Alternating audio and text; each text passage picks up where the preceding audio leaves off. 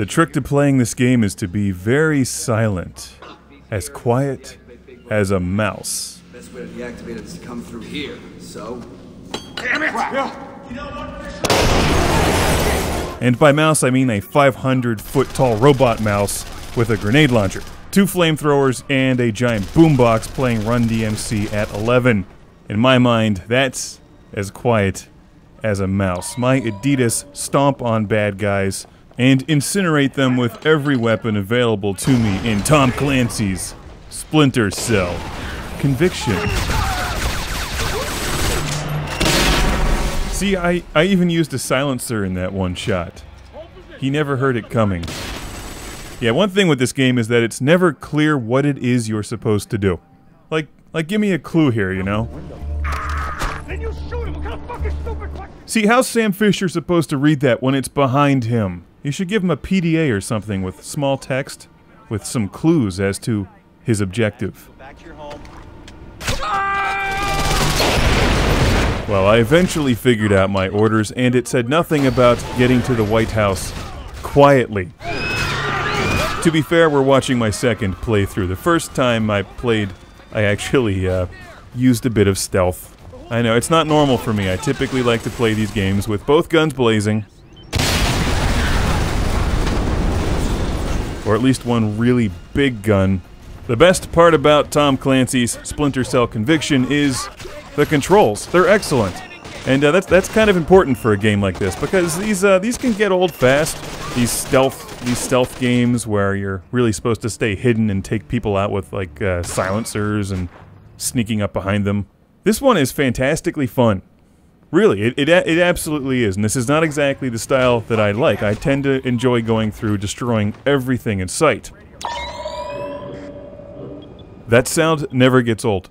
Now, you can't go quite as berserk in this game as you can in Metal Gear Solid 4. Or Berserk. If you watch my review of that one, you know I went through the entire game as much as I could with an M60. Metal Gear Solid 4, not Berserk. And Berserk, I went through the entire game with a laser pistol. This game has a nice balance between uh, playing stealthfully and actually just engaging in full on combat. I'll turn the subtitles on here so we can see what the bad guys are saying, what warrants their doom. Yeah, see, that they have it coming. You can't feel bad for them. Now, there's a real plot in the game uh, where some conspiracy, conspiracy with a conspiracy with some conspiracy on top with uh, like private weapons contractors and uh, some some conspiracy with a side of conspiracy. As Sam Fisher, you conspire against conspiracy using conviction. And while this game has lots of weapons, they should give you the option to take out enemies by hitting them over the head with a hardcover version of The Hunt for Red October. If only Alec Baldwin and Harrison Ford could be your backup. Jack Ryan. Andrew Ryan. Wait a second. That's a conspiracy. Well, that's good enough for me. Rapture is a CIA cover up.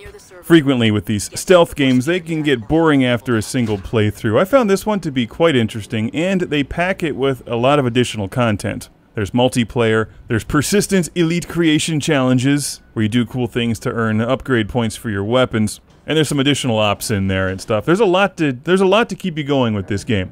Fisher. I used to work here. Security alert. Main power unit. Two. One. All right, a couple technical things here. When you see the little ghosting image appear, that's where enemies think you are, so you can then uh, slip away from them and duck into the shadows. When you take out enemies by sneaking up behind them or pulling them out of windows, you earn the ability to mark targets and automatically assassinate them. Some guns allow you to mark numerous targets at once, which come in very handy when you're trying to take out a crowded room full of people. And you're out of grenades, because you've used them all for fun earlier in the level. Something I'm guilty of. I just like to see them explode. Not only are the levels extremely well designed, but they're fairly sizable too, giving you numerous options on how to tackle the level.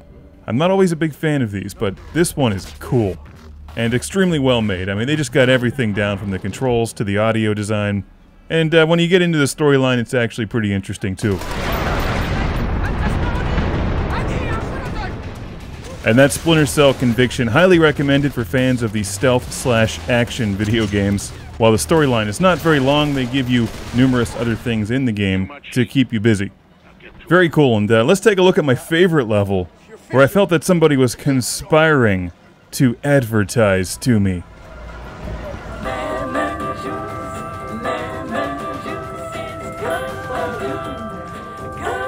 You.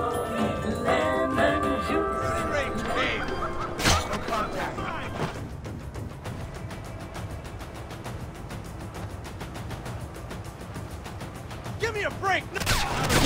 No.